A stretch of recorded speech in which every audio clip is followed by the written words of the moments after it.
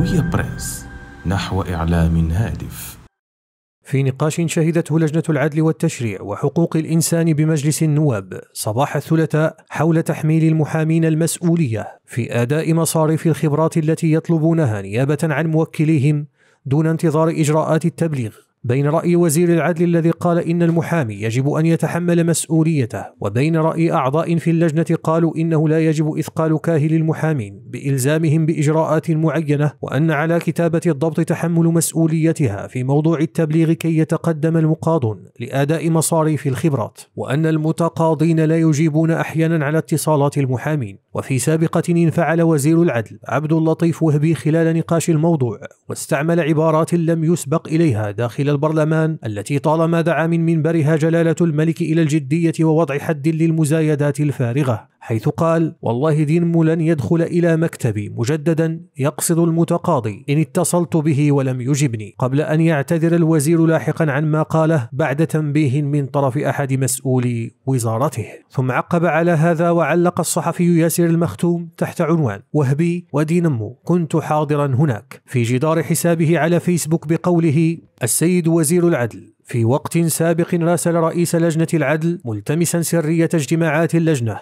مع بدء مناقشة مشروع قانون المسطرة المدنية. ثم شرعت اللجنة فعلا في مناقشة المشروع بعيدا عن أعين الصحفيين لتعود لاحقا بعد تجديد هياكل المجلس إلى رفع السرية عن اجتماعاتها. مشكور كل من سعى إلى إقرار العلنية لأننا فعلا أمام حالة تقتضي رفع السرية وهي دراسة نص تشريعي يهم شريحة واسعة من المواطنين كما ينص على ذلك النظام الداخلي لمجلس النواب. وأضاف صحفي موقع اليوم 24 في منشوره لكن على الوزير أن يعي جيدا أنه يتحدث بحضور الصحفيين ومن مسؤولية أعضاء ديوانه تذكيره بذلك كل مرة. اليوم استعمل قاموسا قدحيا لم يسبقه إليه أحد من البرلمانيين ولا السياسيين. وتابع المختوم كنا ثلاثة صحفيين فقط في القاعة على ما أتذكر. كان يعلم الوزير بوجودنا. نفس زاوية المعالجة اخترناها وهذا طبيعي جدا. ثم انتشر الخبر في عدد من المواقع الإلكترونية وفي نظري من المهم جدا أن يعرف الرأي العام كيف يتحدث وزراؤهم. الصادم حسب الصحفي أن الوزير تحدث وأنهى كلامه دون أن ينتبه إلى وقع ما قاله على صورته وعند الرأي العام أساسا.